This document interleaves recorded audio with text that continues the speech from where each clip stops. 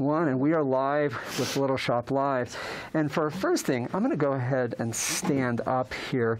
And, and, and we're doing this thing on physics of the body. And we were doing a bunch of different ex- experiments, kind of like on with, with people's bodies. And we had some things that didn't go quite as planned. Um, we always have surprises in the episodes, and and Ty in particular, Ty, I'm I'm feeling I'm feeling I'm sorry. I'm sorry. I mean we. We, we, we worked hard. We tried some things. Some things worked out a little bit differently than planned, and I'm really sorry about that. How are you feeling? Feeling pretty small, Brian. Not gonna lie. I'm really, so I'm really, I'm really, really sorry about that. And I think w- okay. this is hopefully reversible. Hopefully, you're going to be by the time you get ready for a big Thanksgiving dinner next week, you're going to be full size, be able to load up your plate. I hope so. Is it hard taking classes like that? Do people think like you shouldn't be here? You're a kindergartner. I, I stepped on, you know? Almost Like, got stepped on. Yeah, No, we- yeah. They're I like, can- what are you doing here? I was like, I'm sorry. That is awesome. And this is another illusion that we are doing in the Little Shop of Physics live studio. And we're going to demonstrate exactly how we make this go. So we are going to slowly kind of like reverse the illusion. And you can see, in fact, if we come in close, Ty is in oh. fact normal size. Yay. a giant hamster. but as a giant, giant hamster, which is kind of awesome. And I'm going to say, let's go ahead and recreate the illusion. So we'll show you how you do this. So I've got two, we have two, two little stuffed hamsters, and they're exactly the same, but they're different sizes. And then what Ty does is Ty moves backwards, I move forwards until the hamsters are the same size, and then Ty gets down on her knees and holds the hamster up a little bit. And your brain interprets this for some reason as a little mini Ty and a giant Brian. Little Ty, giant Bry, which is kind of awesome. and this works because the background that we have is very, very plain. And this is something you can do. This is just a regular camcorder. And if you have a place with a really simple background, you can do it outside as well. Um, and we have a couple of different ways to produce this particular illusion. But now if we reverse it, Ty stands up. And then Brian moves backwards. Then we can, you can see we're we're both regular size, which is kind of awesome. I wanted to put Ty in my pocket. Maybe next time. and that brings us to our first segment, which is on vision. And that is an interesting visual illusion. And how it works has to do with how your eyes work. But Casey is going to show us something very fundamental with how your eyes work. And Casey built a little eyeball model, it looks like, over there. I did, yeah. So what I took actually was just an old jack o' lantern. Since you know October's through, we did our trick or treating. Done with that. Could make an eyeball out of it. I put this big old lens in the front here, and then on the back you can see I just have kind of a sort of screen, so you could make this at home too. And if this is like my real eye, it's like the lens in front.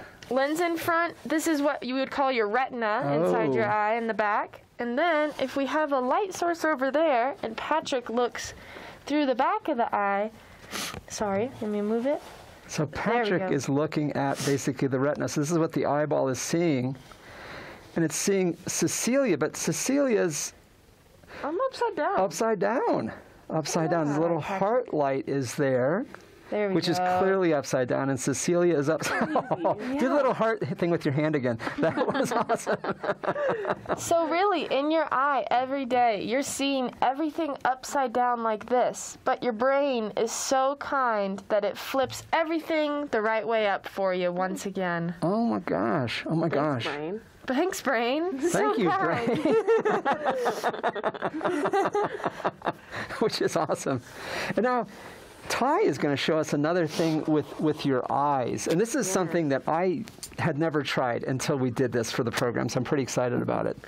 All right, so what you're gonna do is you're gonna make a triangle with your hands, and then you're gonna put it straight out and have focus on a far image and have it centered on that image. Brian's my image. All And right. Casey's mine. Awesome. And then so you're gonna slowly bring that triangle back to your face, and eventually it's gonna land on an eye, and that is your dominant eye. Oh my gosh.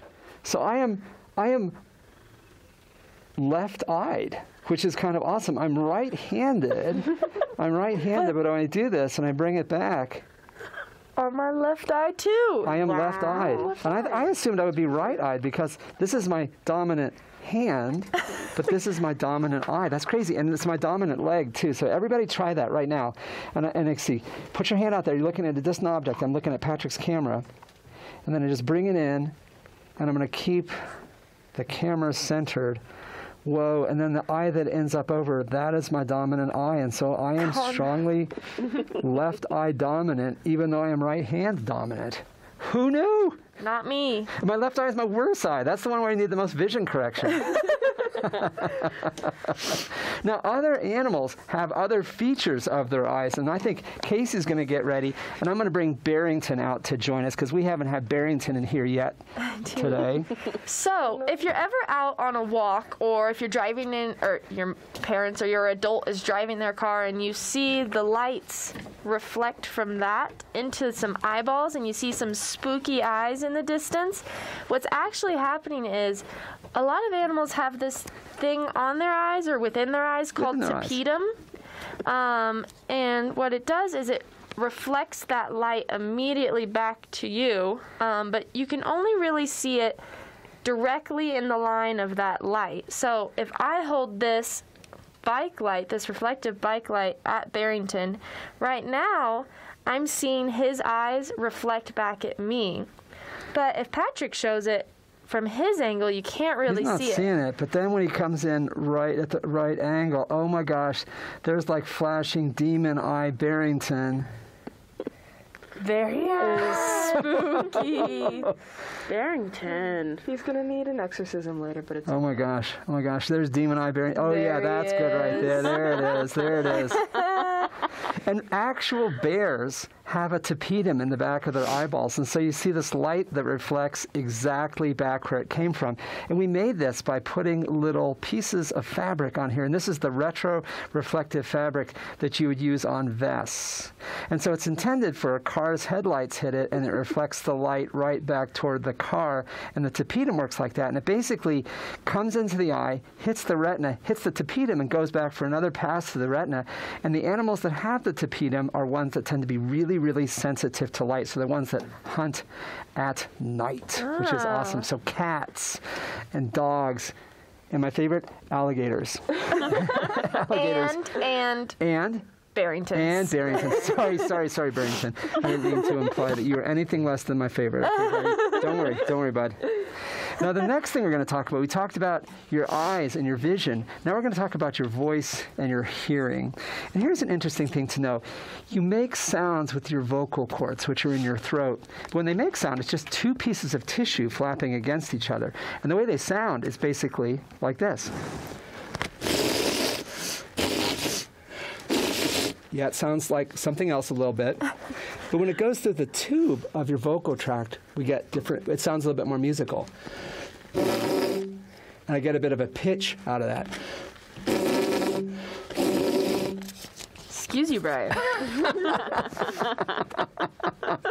And so the, sh- the sound from your vocal cords is shaped by your whole vocal tract. And other things work like this. Mm, Mm, one of the things that definitely works that way is musical instruments, especially instruments like the trumpet. The trumpet's awesome. So Casey's got a little trumpet over there. We'll wait Cecilia till. Cecilia does too. Sorry. I tell you, I'm going to get this. What's your name? Cecilia. Cecilia's got a trumpet mouthpiece. And were you a trumpet player back in the day? Yeah, I played trumpet for seven years. Wow. Continuously, or did you sleep somewhere in there? I hope so. I think I slept. When she snored, she just had her trumpet. Yeah. So a lot like how um, Brian's balloon example showed us, the mouthpiece works the same way as your vocal cords do. So this time, instead of the balloon making the fart noises, your lips are going to make the fart noises, and you're going to buzz. And when you put it on your lips, and it goes through the mouthpiece, it makes a cool little sound like this. You ready? And that's nice, although a little quiet. Can we make it louder? Yes. Oh, and what else could we use? How about that big old trumpet you got there? Because I do not have enough air to make this loud enough for everyone to hear. So I'm going Oh, to use good. my handy dandy trumpet. You ready? So ready.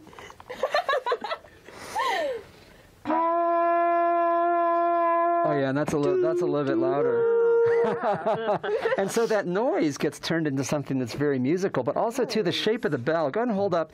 Cecilia holds that up, and there's a bell. And the point of the bell is it helps connect the sound that Cecilia was making with her lips into a, a sound wave in the air. And Casey's got, oh yes, it's like a bell for your face. Only fair that I get to yell right back at you, Cecilia. Hey, go ahead and br- bring it on. Brad, what did you say? Oh, and that makes you like that makes you crazy loud. It makes you able to make a lot more sound. It does, it does. Yeah, it's just spreading out that sound from my lips in a wider area, right? Is that right? It is, and, and it, it enables you to move more air and therefore produce more sound. Makes Casey louder. Call me Big Mouth? And people with big mouths can actually speak louder, which is kind of awesome. Or we have another thing that we can do. And now we're going to go over to Ms. Babcock's class, and we're going to zoom them in. And we have a special. There you are, this, Ms. Babcock's class. Everybody waving at the camera. Awesome. Good to see you. We got a job for you. We got a job for you. When you yell through your mouth you want to make it louder, you can cup your hands, and actually you can make it a little louder like this. But we're going to ask you to yell not through your hands, not through your mouth, but through your nose. And your nose is a much tinier opening. So we want everyone to scream as loud as you can with your mouth closed. You're screaming through your nose. Let's hear it. Oh, come on. You can scream louder than that. This is nothing. This is ridiculous. I can't hear them. I think I'm gonna need some help. And when you're yelling through that tiny opening, you just don't get enough coupling to the air. You just don't aren't able to get enough volume. Let's have a hand for Ms. Babcock's class. Well done, well done. And we've been talking about how you make sound. Next piece, we're going to talk about how you how you sense sound. we all have these special ears on over here, and I see this changes the way I perceive the world here. It kind of like one, I hear a lot more of the high pitches, which is kind of awesome. But then two, it makes me very directional. I can listen to just Casey, or just Cecilia, or just Ty. Yeah. Oh yeah. Right now, I think I'm hearing a little bit too much of Brian. Take these off. You, you Which want to is- trade? And I think and we all have different ears. Mine is mine is a, a I think a bat. It's a long-eared bat, and so I, I'm gonna have hearing like that, and it changes the way I perceive the world. And Casey, which one is yours? I have no. What does it look like? If you tip your head down, we can read it. It is a no. Yours is the long-eared bat. bat. Sorry, yours? Oh. sorry. What is mine? I am a.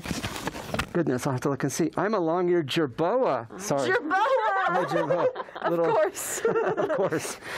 and then Ty is an aye-aye. Ty I I. Tie eye eye. And the Cecilia's a leopard gecko. You just have little tiny holes in the side of your head. And does that change the way you hear? Yeah, I can't hear very well at all. you all sound very nasally. But if you want to do something like this and change the way you hear the world, you don't need a fancy piece of equipment like that. You can just cup your hands over your ears like this. And if you do that, Casey's going to explain what we're going to do next with this. What is what is Ms. Babcock's class going to do? Casey's gonna explain. I, I thought I had oh, you down okay. for that. Yeah, she sure is. So, if you guys put your hands over your ears, like Brian was just showing you, it's kind of going to mimic those ears we just had on our heads. Um, and I believe Sherry is going to go to a spot in the room. If you guys close your eyes, and you have to point to where you think she is when she's talking. Does that sound good? Or she's using a speaker. A speaker. Sorry. I don't know. She's using the speaker. She says yes. Sorry. Whatever. so, All right, so everyone's standing up, and they're putting on their bat ears. bad ears engaged. Bat ears engaged, and they're closing their eyes.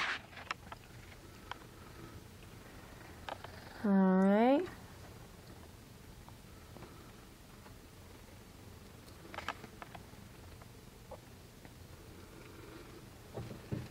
Oh, and they're looking around, and they're all facing in the same direction. I think they're finding the source of sound. I think they are succeeding. This makes your ears way more directional. Looks like a whole class full of bats. It's a whole there. class full of bats. Look at them turning to the sound.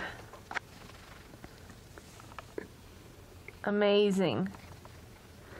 Who needs fancy Oh, ears? they got it. They got it. They're pointing. They found it. Those rascals. They found exactly where it was. And they did that by using their bat ears. Awesome. Ms. Babcock's class, thank you. Let's have a hand for them. Thank you so much. Thank you so much. And then to other teachers who are joining, we are looking for people to join Little Shop of Physics Live on future installments. We're going to have our next the day before winter break. We have one right before fall break, and we'd love to join a class. So get in touch with us if you would like to have your class be featured on the next installment. One more thing we want to do with sound and hearing and speech, and Cecilia's got this one. Cecilia, what do you got going on over there? Alrighty, so I have a little fan here, and the way that your vocal cords work is you have air that you you breathe in air, and the air vibrates in your little voice box, right? Well, what happens when the air is forced into your uh, voice box? Well, let's find out. I'm gonna take a fan. This is gonna be interesting, so give me a second. Alrighty. So I'm gonna take off the mask and I'm gonna turn my fan on, and we're gonna see what happens to my voice when I push air into my throat. Ready? Alrighty. How does that sound, guys? Oh, that sounds bizarre. that sounds bizarre. And it's not just air, Cecilia. but it's it's choppy air. Keep talking, Cecilia. Well, um, what happens is when you have so much air that's being forced into your voice box, it makes things a little weird, especially when you're trying to push air out, because that's how you make And sound. if you scoot your face down just a little bit, I think you're getting an even. st- there like you go, right there. Oh yeah. Alrighty, yeah. Give us a little whistle. Oh yeah. Awesome, Sounds awesome. The whistle is even better. And the laugh. and the laugh is awesome. And this is something anybody can try. This is something kids can try at home for sure. The talking through a fan. Oh, Yeah. I Awesome. definitely did this when I was four or five years old. Awesome, oh, yeah. awesome. All the time. Next piece we want to look at is we have a little lie detector, and I see our friends from Norway are on, and Magna is on from Norway, and hopefully his compatriots from Norway. This is something we got from our buddies in Norway, and they gave us these little kits where we can build a lie detector. And the lie detector is basically passing a small current through your body. And then if you have less resistance, you get a different pitch. And Ty, show us what we got here. All right. So, Oh, goodness. Go ahead and pick those. Yeah, go ahead and pick those things up. all right. There are metal rods connected to these wires that are connected to the machine. Sorry, everyone. but um, That's all right. It's all right. It's for science. Ty, are you getting you getting nervous over And I there? think a little bit. the pitch is going to go up if we can make Ty nervous. I think we asked Ty some questions to make her nervous. Ty, when's the last time you skipped a class? Never. Uh, I don't think so. I hear that pitch going up. And her hands are sweating, and with sweats, They are sweating. you all make me nervous. let me show you one more thing we can Oh, do with please. this. If I take one and you take one, Oh yeah. check this out. Whoa, we can make a little circuit, and we can see how nervous the two of us are. You could use nervous. this with kids and see, like, you're holding hands. How nervous does that make you? that is awesome. And this is from our friends in Norway who are chiming in. So thank you for that shout out to our Nordic compatriots who do the science circus. Now we have another thing where we're going to look at uh, electricity in your body. And it turns out you're a pretty good electrical conductor. And it ch- your electrical conductivity changes with how sweaty you are but also too your muscles actually make electrical signals and ty's got a little box over here so it's back over to ty Ew. All right. So here I'm gonna we're gonna listen to some of my muscles. awesome so you're putting this on your wrist Yes. What do you mean listening to muscles? We're my sound. All right. So and i think you want a little salt water i'm gonna get a little container right oh, there oh, thank you. You're so awesome great. awesome All right. I'm gonna set this here. I'm gonna turn her on.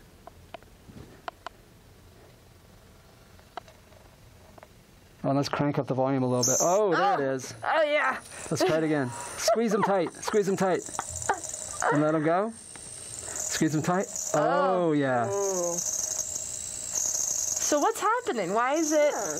Why can I hear that? Brian. So what's happening is when Ty is squeezing her muscles like that, when they contract, they make little electrical signals. And you know this. You've seen this with people's hearts. You can do an electrocardiogram. But in this case, this is just the sound of the electrical signals from Ty's muscles. That is awesome. You're getting the great kind of like two finger workout there. Yeah, And we're hearing it in progress. and Cecilia has got something that she made for the show that uses the fact that we're all connected. And I think Ty is going to bring that little. Yes, I am. So there we go. Alrighty, so what I did was I connected that speaker over there to a little audio jack that goes into my own phone, right?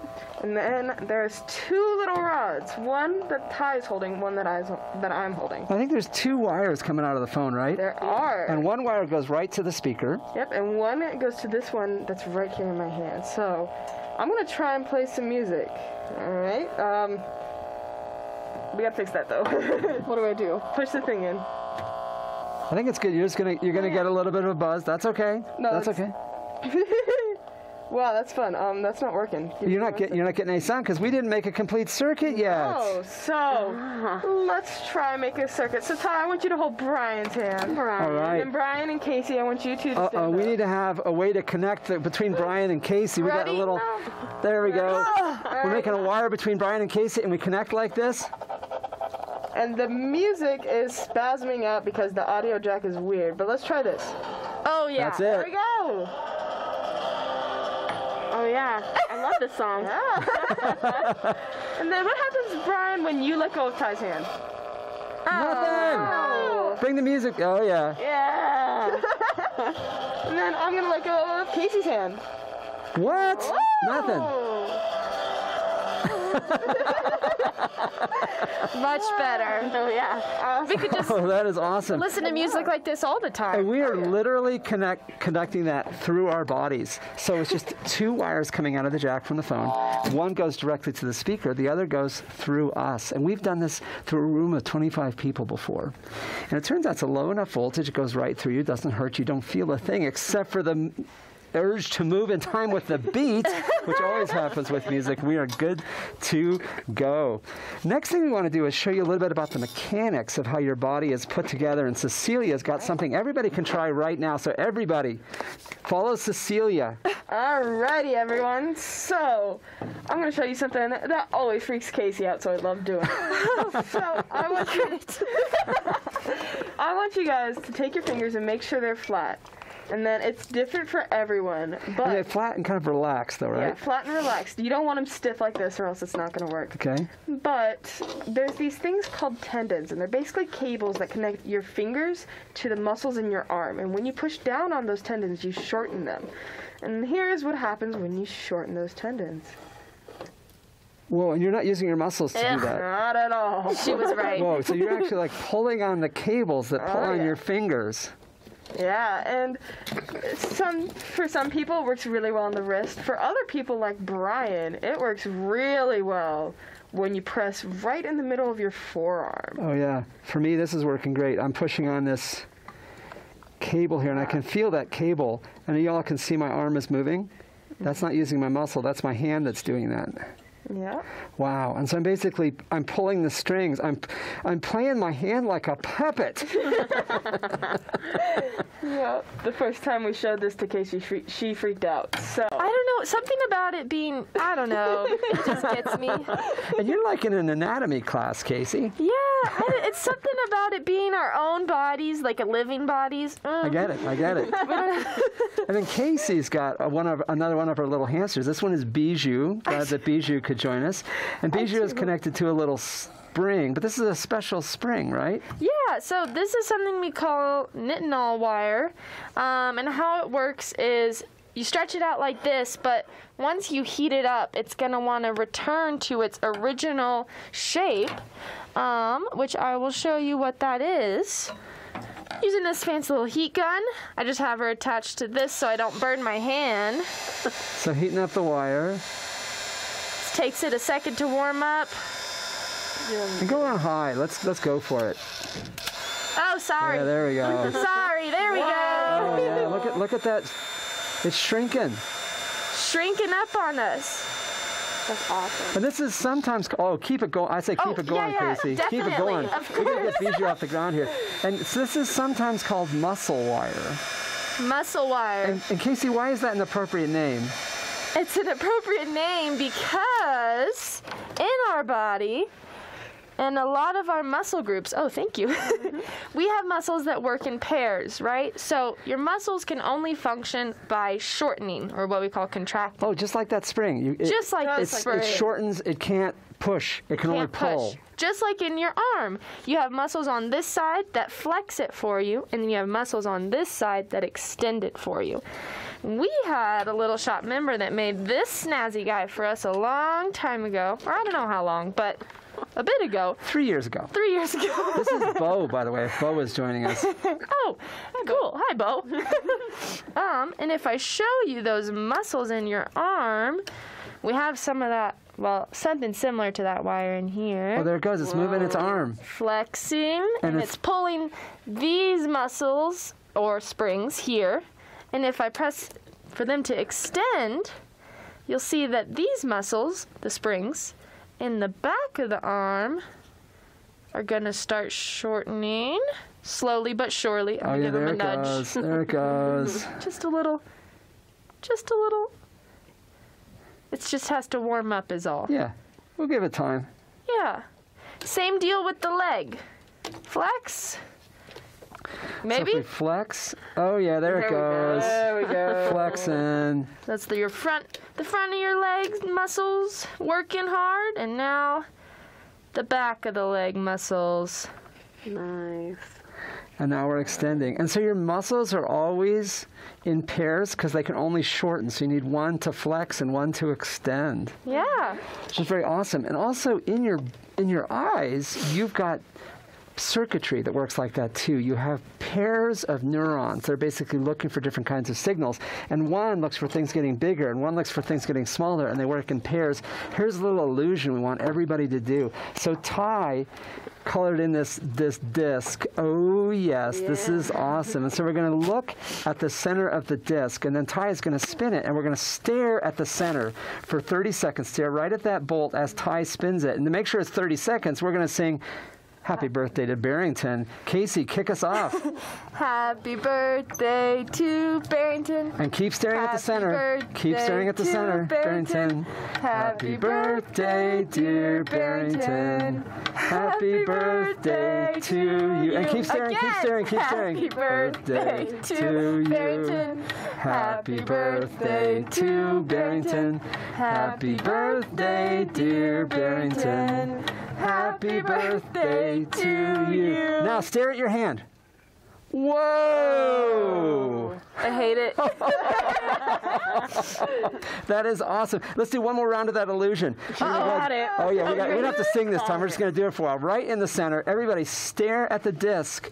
And what you're doing is, when Ty turns it, you can see that spiral appears to be going out. And so the little circuitry that senses things getting bigger is getting tired, and the one that is sensing things getting smaller is staying nice and fresh. And they oh. work against each other. And if they're reporting the same signal, then it'll look like everything's staying the same size. But if they're reporting different sizes, it's going to be different. And keep it cranking, Ty. Keep, it going. Uh oh, uh oh. Did it get stuck? Yeah.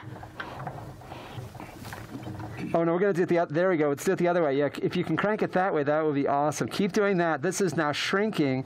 The one that's sensing things getting smaller is getting tired. The one that's sensing things getting bigger is just taking a rest. Oh. So stare at it. We're gonna stare at it for a good 15 seconds more, and then everyone's gonna stare at the palm of your hand, and the palm of your hand will appear to grow. And if you want, you can also stare at someone else's face and make their face look like it's expanding. okay, right now, stare at your hand. Whoa, growing oh. hand. oh. Awesome, awesome, awesome, awesome.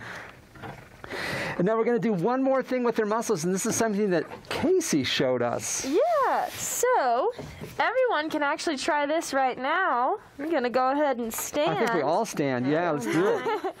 So what you're gonna do is, I want you to grab the side of your pants. You're gonna grab on, onto them real tight because you're gonna pull them out as hard as you can, but you don't want to let go. And we're gonna do this for another round of happy birthday. Pull as hard, Hard as as you you can, hard as you can. Happy birthday to Barrington. Happy birthday to Barrington. Happy birthday, dear Barrington. Happy birthday to you. Now let go. And relax your arms. Oh my gosh, my hands are rising up. Oh my god. Rise up. that is awesome. Like I'm not doing that. My muscles are just doing this for me. That is awesome. So what's happening is after flexing your muscles for so long on your own free will, eventually they start to just flex it on their own, assuming that that's what you're going to be doing, and once you let go, it just raises them up. Oh my gosh, that is awesome. And that is a perfect grand finale. This was something everybody could work along with all the different things that we're doing. Be back with us in four weeks on December 17th, right before your winter break in Poudre School District. We'll have another round of experiments for you. In the meantime, keep doing awesome science. Keep in touch with us. Thank you so much to Tiffany Babcock's class. Yay! And thank you to all the other classes who joined. Everybody have a great fall break, and we'll see you in a couple weeks. Bye. Bye bye.